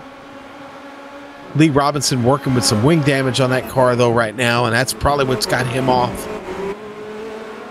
Yeah, I would usually say he would be a victim to Tkach, but again, I'm not sure how healthy Tkach's car is. Great four-car battle for eighth. Martinson, Morris, Robinson, and Tkach.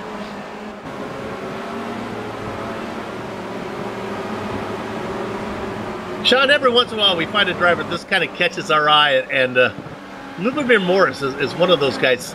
Not the speed yet to race up front with the big boys, but uh, some good racecraft in him. Hey, the dude's fast. Uh, Yeah. We've seen it every week here so far. He hasn't had the best luck in the world, but he's been good. Oh, look at this line now that Martins is going to take. Going to take his half out of the middle. He's going to stay as wide. That boy, that forces Morris. He had to either make up a decide to go really wide or really tight. They can't get it done through one. Let's stay on this a bit here. We'll follow it through two, three, and four. I would think that Morris will probably make his attack into that first chicane. I can report up front. The lead is now two seconds. We're not missing anything up there. Here we go. Down to the chicane. He's just not. I don't think he's close enough to get in the toe here. Really, soup. Not enough speed here going down into the first uh, into the chicane. He's not going to get him there. Oh boy, he really got high up on the curb there, though. Yeah, gotta be careful. Gotta be careful there, Lubomir. And that cost him a lot of time as that brought in the former champion, the Red Devil racer, Christian Tkach, right behind him. Great battle for eighth. Falling off a bit is the rookie, Andrew Greenball. He's back there in ninth position or 11th position. Let's drop back real quick to DeRike in 12th. He's being challenged by De Cortel. No, not going to happen yet. Sorry to jump all around, but there's action everywhere Yeah. for you. It, there really is soup.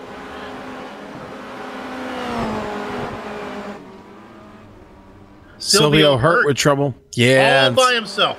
it's going to be too much curb for Silvio, unfortunately. Right in front of Casper Thron. Thron gets around. Up, let's go to Martinson real quick if we can. I hate to do it to you. Oh, it's not going to happen. Well, that's okay. Morris made an attack on him, couldn't get it done. Yeah, you get the feeling Tkach is back here for cleanup Uh-huh. duty. Yeah.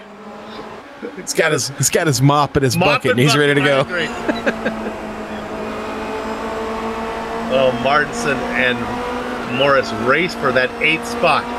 We ride on board with Tkach. Up front, we don't need to go there. One and a half seconds is Herman over McLeod. We will keep an eye on McLeod though, as uh, Tierney beginning to run him down. He's only about seven tenths of a second back. But this is really where the action is. Stefan Herman saying, watching this broadcast back on replay, saying a lot in front. How about some love, guys? I'll get to you, Stefan, I promise.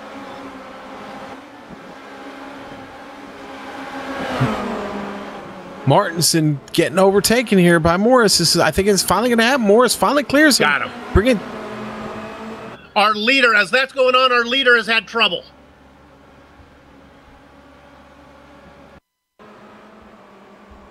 As we're looking at this one, our director found it. I have not. I'm going to watch it with you for the first time with you. Just a self mistake, Sean. Oh, Yeah. Stefan. All right, he's still in third though. We got to go back live though, because now Tkach trying to take this position away from Morris as they battle in Erst. Now it's Knut Martinson back there doing cleanup duty. They continue to battle up just in front of him. Tkach on the outside. Lubomir trying to hang on to it here. He'll have the preferred position through four, which should, oh, but he has to back out a little bit. Now the momentum from Tkach should give him the advantage all the way down the straight. And look at now behind him. Here comes the cars because of that bad exit. That's Martinson being overtaken now. Let's move. Greenbaugh is back into the mix. Greenhall back in there. Andrew Greenhall racing in Yeah. 10th position. Oh! Yuri Morjic racing in. I guess he was back last in the car. I thought he was farther up. He just had a big spin. We don't need to go to it. But Morjic is gone.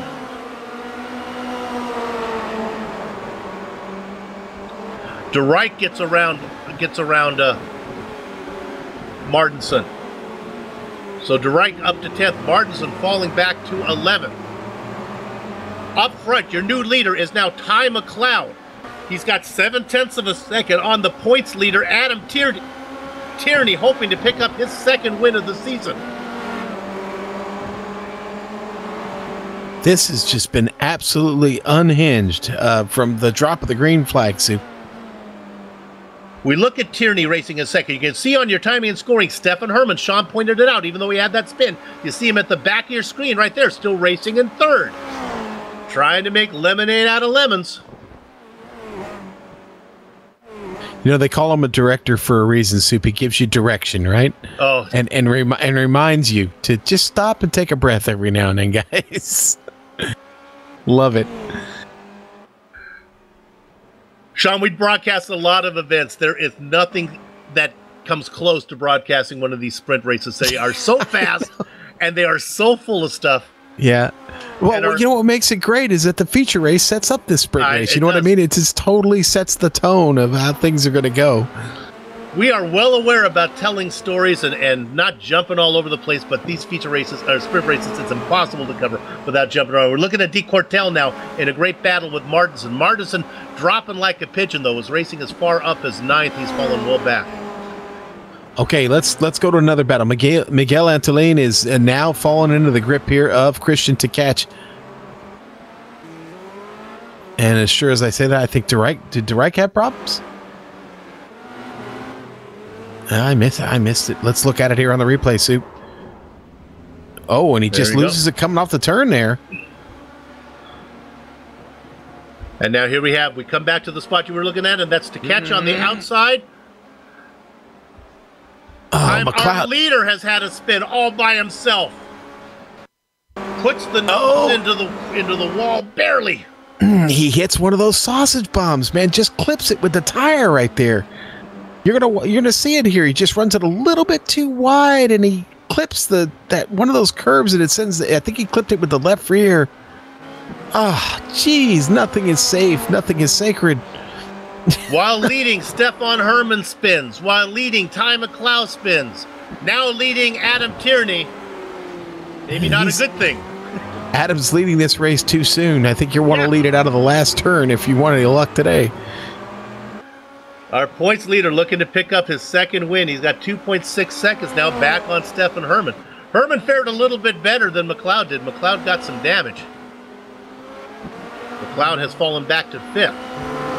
Yeah, and, and the real battle is in the middle in the middle of this uh, this field Yeah. right now. You've got Tkach being followed by Lubomir Morris and Miguel Antolin and Andrew uh, Green Greenhog. Who Greenhog's up 17 spots. He's having a major run here. Really was not not even a consideration in the sprint race as he started so far back. Morris now able to see if he can run down to catch Antolin. Now Antolin was reported by our spotter Billy Bob Wright that he has a little damage. Greenhall really impressive. Yeah, Rookie driver out of the UK and Ireland. Uh, you know, and I don't know. Did we mention the damage on Tkach's machine? He's got rear wing damage on his car. That can't be helping at all. I mean, it's it's minor, but it's enough to where it's kind of upset upset the uh, the balance on the car a little bit. Only in the sim racing universe does carbon fiber bend, but there you have it.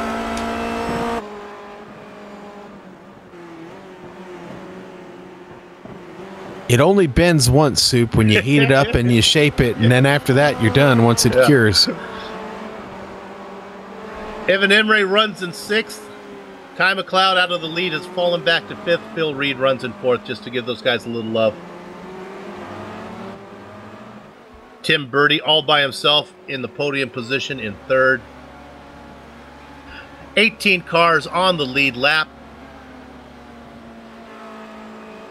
I will tell you this: if iRacing ever implements the damage, uh, the damage model and the tire puncture at the same time, we're going to be in big trouble because carbon fiber and shards of it Ah. aren't kind of tires, sir.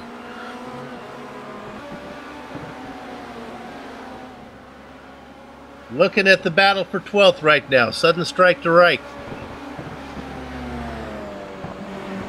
He leads Martinson. He was able to get that pass made. Martinson trying to get that spot back. Right now, Martinson has to worry about. Now, I reported, unless I was wrong, I thought I reported that. Oh, that's not a battle for position. I thought so. Morjack is a is a is not on the lead lap as he's chasing Martinson right now. Wow, Sean, look at this. As our rookie has made another Yeah. pass. Another pass. I know. Ah, Lawrence Derek wants that spot back, though. He's fighting him hard for it here. Ooh, boy, that was close. Now that's Antolin being that's De Cortel, that battle for for a tenth. But Greenbaugh up Green sorry, Green. I'm gonna go with Green Hall up to uh, ninth position. Yeah, we'll stick with Greenhall for right now. That Greenhall. that, that sounds good. I'm gonna make this if if, if there's any friends or family or oh. teammates, look at that battle going on there from Antolin. On the inside, do they make oh. contact? De Cortel gets in front. Hi, Antolin, he nicked him. Friends and family of Andrew Greenhall, if they want to let him know, come on in and talk to us. We'd like to have him in for the interview here. Drivers always think they need to finish on the podium, come to talk to us. We'll talk to the podiums, but we always like to talk to a stray driver here and there. Give you a saucer of milk, take you in, make you feel comfortable.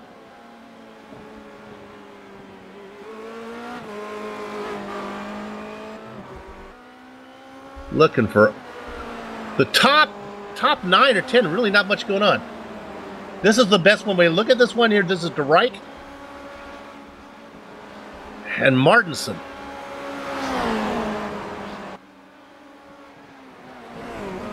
Martinson qualified.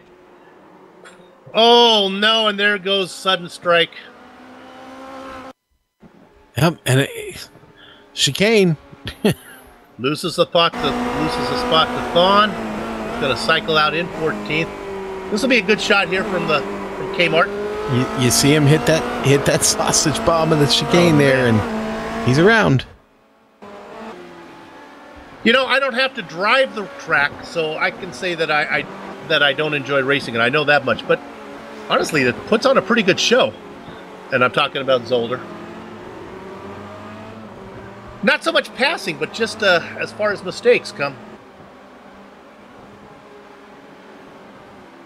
We look at Sudden Strike to Reich in 14th position. Honestly, not a real battle now to be found much anywhere.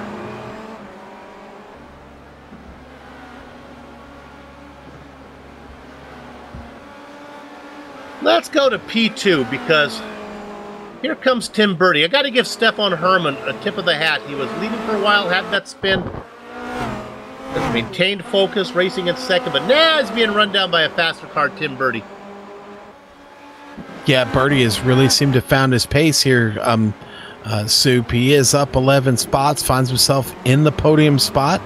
He could get one rung higher on the podium. I'm sure that would be okay with him. Stefan uh, hanging on here at this point. We talked about, as we watched it, we talked about Adam Tierney and drop races, maybe throw this one away. Well, maybe we spoke a little too soon as he he finished in the points in the in the feature race and now looking to get a sprint race win. Probably not going to throw this one away after all. So another one of the features of the AOR Formula Renault 2.0 Championship. Don't really know how things are going to turn out.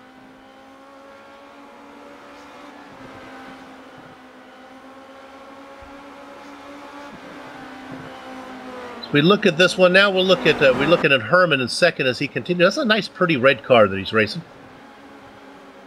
We'll stay on this for a minute. We have another battle to talk about, but just got a hunch that Birdie's going to get there faster than we think. Well, he got a hustle though. Only less than three minutes of racing. Boy, Sean, the time Yeah. goes by fast. I looked up there to see how much time we have left. I, I had soup. I had the same thing just happen to me a moment ago. I'm like, really? There's two and a half minutes left in this race? You got to be kidding! Oh, Miguel Antolin goes off. He's off the track, back out of canal.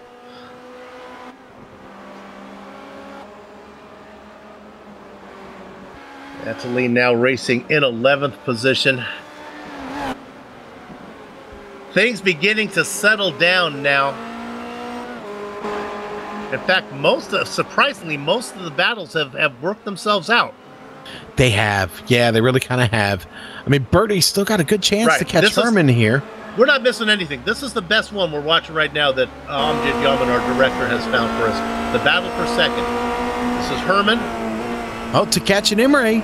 Tkach out Tkach, gonna get by Imre here. Ah, Chris Christian Tkach Oh. just Yeah, that one that one uh, was easy pickings there is Tkach moves Yeah. up into sixth. Yeah, that was. Let's go back now. We go back live to P2. This is Herman.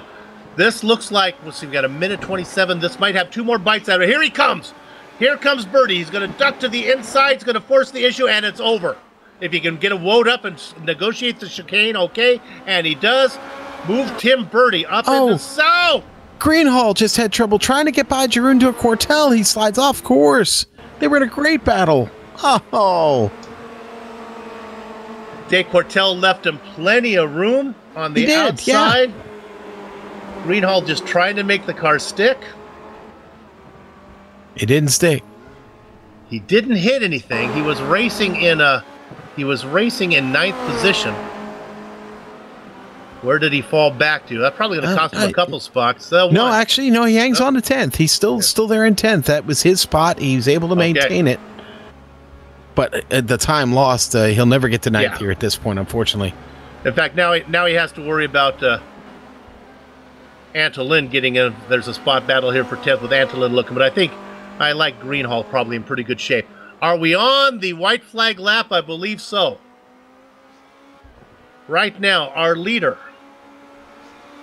has worked his way around three, going through four. It is your points leader, the Formula Mini driver, He's got one win under his belt so far this season. Going to pick up a second today if he can just negotiate the last half of the track. It is Adam Tierney. He's gone through five. Through Butte, up to the second chicane, which has a real name that Sean's going to tell us right now. I'm going to call it corner seven. Terlamen. Thank you. Heading down into what I like to call corner eight and what Sean likes to call Bulgerberhagen. I- Something like that. Stop it, soup, before you Sorry, hurt guys. your commentator buddy. Coming Sorry into, to all my Belgian friends. coming into corner number 10. It is uh, Adam Tierney. He negotiates the left, he negotiates the right. Nothing in front of him, and the checkered flag that's waving. Adam Tierney wins the sprint race, round number seven from Zolder. Second place is going to go to Tim Birdie. Herman gets third. Is there a battle out there? Maybe back to Antolin and Greenball? We go back to P12. Ah, this is it. Sudden strike to Reich in a battle with Knut Martinson. Martinson qualified in 13th position. Oh, look at this behind him. This is Hauer and, Hoyer and Thon. Nice little battle going on back here for 12, 13, 14, and 15. Let's follow these four cars. I think the back two cars might be the fastest. They just might not have enough time, though, as they're coming up to the final chicane. First one through is sudden strike to Reich. He's going to negotiate that one okay. Let's score him in 13th. Oh, Hoyer! Oh, Hoyer no. makes a big mistake. Big mistake for Hoyer out of Jacky Ickx right there. That's going to allow Thrawn to get by, and Thrawn go up to 14th. Hoyer gets 15th. We'll see that one on replay.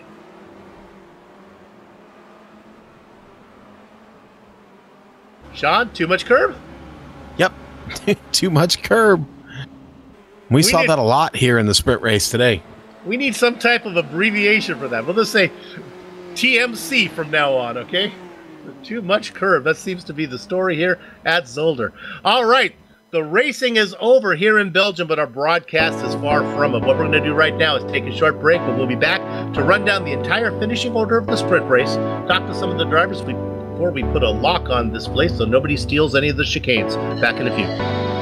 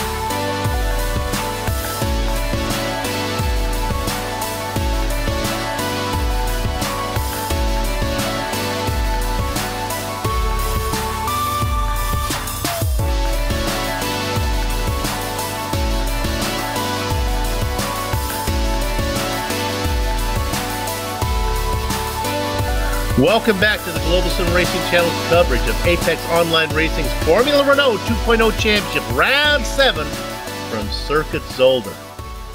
Time to run down the finishing order of the 25 minute sprint that just took place, and you'll need to see this order as there was so much action. Even Sean and I aren't sure really what happened. We know that Adam Tierney was your winner as he picks up six spots coming from seventh to get the win, his second win of the season. Tim Birdie had a really good day of racing as he comes home in second. Gotta love Stefan Herman. He led for a while, had a spin that dropped him out of the lead, but nevertheless, he's able to get a podium position. Nice job, Stefan. Phil Reed, a veteran, comes home in fourth. Ty McLeod in fifth. Christian Tkach, Evan Imre goes sixth and seventh. Boy, the battling back here, we watch these guys a lot. Lubomir Morris in eighth position, Jeroen De Cortel. And Sean, I get the pleasure of announcing this one. Up 17 spots, Andrew Greenhall. Nice run from him. Yeah, really, really nice run from that rookie. And then we'll go to Miguel Antolin. We'll finish 11th. Lawrence Sudden strike to right there in 12th. Knut Martinson 13th, 14th, Casper Thron. Manuel Hoyer actually does really well in this run. He uh, up 10 spots and he'll finish in 15th. Alexis Merloso, another car up 10 spots, will finish 16th. Stephen Larkamp there, 17th. 18th, Silvio Hurt. He also gained 10 spots. Soup. Uh, then you go to Yuri Mochak there in 19th and 20th. Going to go to the hard luck man today, Lee Robinson. Mark Usher in the blackjack spot out of the points, as was Scott Newton, Bruno Dometer, Alexander Valdo, Enric Andre, Harrison Fish, Josh Thompson, who we might get to talk to. Talk about best of times. It was the worst of times. How about a win in the feature and a 27th in the sprint? Patrick Kessler runs out the field. Okay. Let's see if we can go here and talk to uh, who we want to talk to. Let's talk to the man who had a tale of two cities, and that is Josh Thompson. Well, let's go ahead and talk about the feature race first with Josh. Uh, that one was uh, pretty simple. Yeah, it was really surprising to be honest, especially after having a really, really bad season. I actually put a lot of effort in with uh, Adam behind the scenes on well today, just doing a load of testing, getting the car to work. Surprisingly, put on pole after two spins in the chicanes on lap one and lap three, so quite surprised and seeing how close it was, I knew it was going to be quite a hard race. But nah, got a nice start. Just kept my head down, nice and consistent. I knew I didn't have the one lap pace, but I could see all the time coming across the line to be like a one or a two. So I knew I could keep the gap. Quite nice, had a comfortable gap. Pit stops, simple, straightforward. But then Usher started putting me under some real, real pressure. I actually started panicking a little bit, to be honest. Started making a few little mistakes because he was taking four or five attempts out of me. But with about 10 minutes to go, I was like, the gap was six seconds, and then by the end of the race, I think it was like two seconds over the line, so it was quite close. Then having the scare with uh, Andre as well at the end, that didn't really help the situation, but eh, nice to wrap up a win, especially after having so many DNFs and only two finishes. Okay, we're not going to talk about the sprint race because you got into trouble early. That's we've seen that happen before. I know you have a lot to say about that. I want to go back to the point that that Sean and I. It was one of the most interesting things we've ever seen where there was an incident between you on your cool down lap and Enric Andre, who's still trying to finish his lap. And usually this wouldn't matter at all if it was a normal event, but, but because he needs to finish on the lead lap. And then when you make contact, he blinks away because he has the incident problem. Uh, fascinating. And they then eventually the, the race stewards gave him his spot back. Fascinating though. I I didn't even know what happened. I, obviously, I've like I'd pulled off, I'd slowed down anyway because I'd finished my race, which is fair enough. But I think because I've slowed down, I forgot all about him being a lap down right. technically, so he has to finish lap. So obviously I've gone to just take the normal racing line on the slow down lap, and he's gone for the same bit of track at the same time. And because he's hit me at higher speed, it looks like he's done it deliberate. But oh no, no, I, I know, I know, I know Andre, and I know, I know Enric, and he's Sam. So there was nothing bad there. It was just one of those racing things. So I'm happy they gave him the reverse pole, to be honest, because nothing. It was not. It was really it was one of those weird racing it was, things. Really, it was really it was, weird. It surprised me. Very very strange circumstances of events there. Yeah, hey, yeah. congratulations on the uh, on the win today. This is uh, I believe your second. You already got one, don't you? No, was this is your first one? This is your no. first one you've got this season. Oh yeah, this season I won one last season at Phillip yeah. Island, but that was a sprint race. So, but the feature's obviously the main one you want to win. So yeah, quite nice to have a feature race under my belt. Big points. Good job. We'll see you down the road. Cheers. See you later, guys. Josh Thompson, always a good interview. Sean, who you want to talk to? Uh, you know what? Why don't I go ahead and talk to the winner here of the sprint race? Let's talk to Adam Tierney. Adam, uh, what a great run, buddy. Uh, talk to us a little bit about your race there. Uh, you had to pick up several spots to get it done. Uh, this track is pretty tough, isn't it? Yeah, this track is pretty difficult in this car. There's a lot of curbs and chicanes and stuff, and it's just horrible to do in this car. But at the start of the race, I managed to get a decent start. I think I picked up one position, maybe, and I was side by side with someone else. And then, then we went through the final few corners. I managed to pick up someone else, I think. And then I managed to get myself into third, and then Ty and Stefan Herman were right in front of me, and Ty dropped it coming out of the final chicane, which is a bit of a shame because it was quite quick. And then Ty did the same thing out of turn four, I think it was, and he had a really good chance as well. So that's a shame for him. But yeah, everyone just kind of moved out my way, and then I just managed to cruise home in the end. Yeah, the seas kind of parted there for you. Listen, uh, uh, the feature race was a tough one, um, and it was a, a, especially tough on you. But you finished in a position down there that allows you to start up close to the front here on the sprint race. Was it more about um, figuring out the track, or was it really just starting position that really helped you uh, gain this win in the sprint race? Um, I think pace in the feature race and sprint race were pretty much the same. So I think it was mainly just starting position. Because Yeah, just- after I after I pitted for the damage and stuff in the in the feature, the pace was nearly there.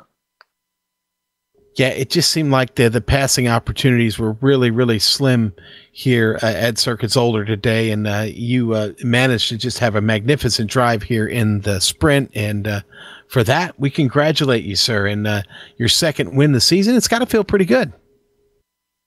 Yeah, it's not too bad. I think second driver to get more than one win this season. I think Phil's the only other person, so feels pretty good. But at the same time, it's more of just a recovery from feature race. But see what happens in the points. I, I believe that uh, that's going to leave you as the uh, the points leader here, if I'm getting my info correct. But Yeah. we'll see when it all shakes out and it's actually official. But uh, again, congratulations to you today, Adam. Thank you. All right, Soup. That's Adam Tierney, and I think we got uh, one one driver left to tur talk to. You've caught up with Evan Imre.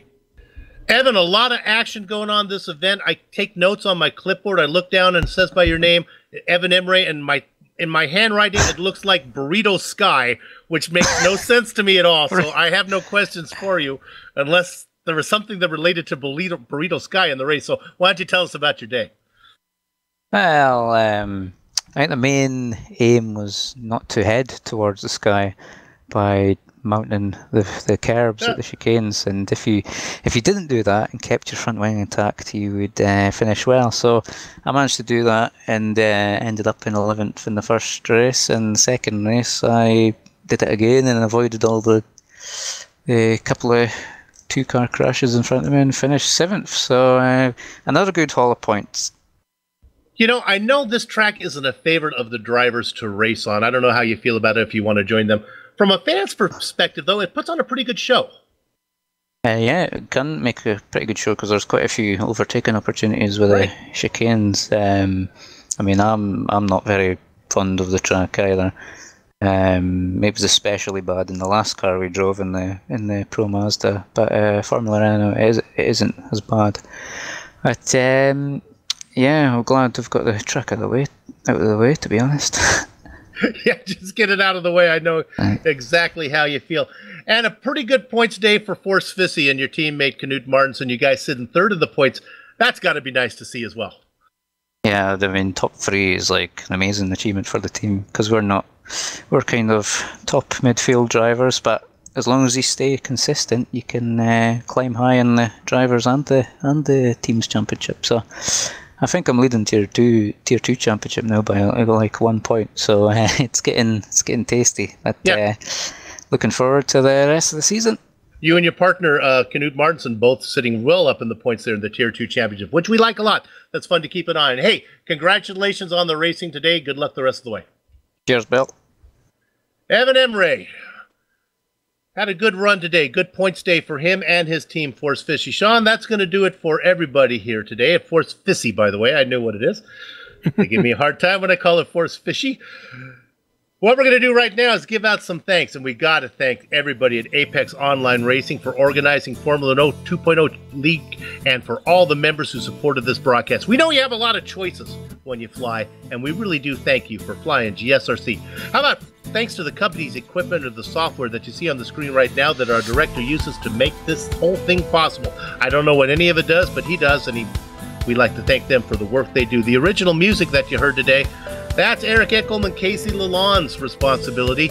Like to thank them for what they do. See the screen for how to contact each of them. All right, and the AOR returns next week for round eight, Friday the 3rd of November at Phillip Island. Yes, Phillip Island, and it's going to be a lot of fun. Now, special announcement here, okay? Let's let's make sure we get this right. All right, this I'm is this is this is for our American viewers, okay? Next week's event will start at 4:25 Eastern due to European daylight savings. Here in America, we are not turning the clocks back this weekend. Why not? We will do that next weekend Not on November 2nd. All right. So uh, be sure you pay attention to that. Catch us at 425 Eastern next Friday and next Friday only because the following Friday we'll return to our regular schedule. Now, GSRC will be there to bring you all the action. We hope you join us for more information about GSRC. Your best bet is www.globalsimracingchannel.com. We're also on Twitter at GSR Channel and find us on Facebook by just typing in Global Sim Racing Channel, all one word in the search bar. You will find us. In the old days, I would protest daylight saving times by not turning my clocks back, but now my phone does it for me and really annoys me. It like fights against me. On behalf of the man whose voice you just heard, Sean Ambrose, who is a strong believer in daylight saving time, our director Amjad Yaman, who is ambivalent about it, and our camera artist Dougie Beard, who supports daylight saving time, and also how about some special help to our Lotus 49 GSRC broadcast race winner, Billy Bob Wright, who was the spotter today and is also very much against daylight saving time. I'd like to thank all of you for watching. With that said, we're off to have fun storming the castle. So until next time, and it might be an hour earlier depending on your part of the globe, race clean, race hard, and we'll see you on the track.